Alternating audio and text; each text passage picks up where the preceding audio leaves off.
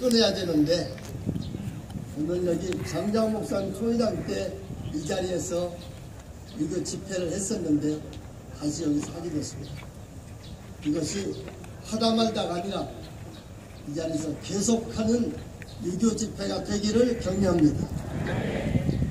유엔 16개국의 도움을 받아서 오늘의 경제 대국 신앙력을 일으킨 대한민국이 세계 238개 나라 중에서 이제는 신앙에 도움을 주고 국력이 신장하는 그런 멋진 대한민국 되기를 격려합니다.